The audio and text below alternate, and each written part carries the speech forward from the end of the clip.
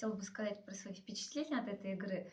А, у меня как-то вот конец января и февраль сложился таким образом, что я в такое количество игр играла, совершенно разных, начиная от Лего, кончая настольными, как сделать бирюзовую компанию, а, про какие-то э, трансформационные игры про женственность, я бренд. Ну, вот сегодня нетворкер, я хочу сказать, что вот сегментация рынка трансформационных игр, она просто, конечно, сейчас вот у меня в голове взрывается. То есть какие сегменты могут быть вот э, в, в этой плоскости.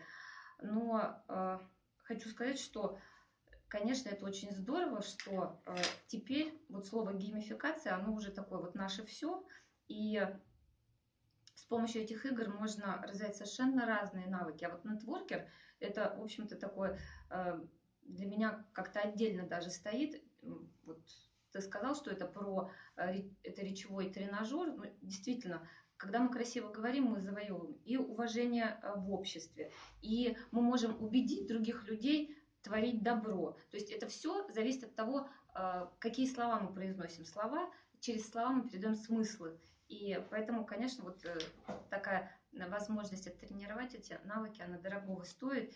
И, безусловно, я очень заинтересована в этой игре и как педагог, как преподаватель, чтобы транслировать вот эти смыслы дальше.